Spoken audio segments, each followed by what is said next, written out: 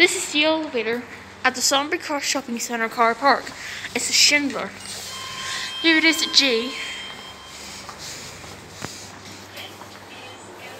Let's go up to five.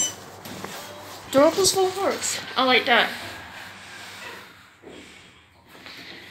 And the capacity is 1600 kilos, 200 persons, year made in 2017.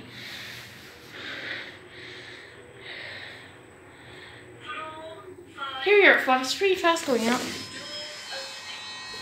Classic level. Let's go back down to G and get a cab view. Door opens full works, like that. So again, that's cab view. It's pretty basic Schindler. All to the how I Got the indicator and the capacity is 600 kilos, sewer passengers, EMA 2017. There's our firm's fuel camera. Got a couple of light fixtures on the ceiling. Here, back G. Now we can, now we can exit the elevator.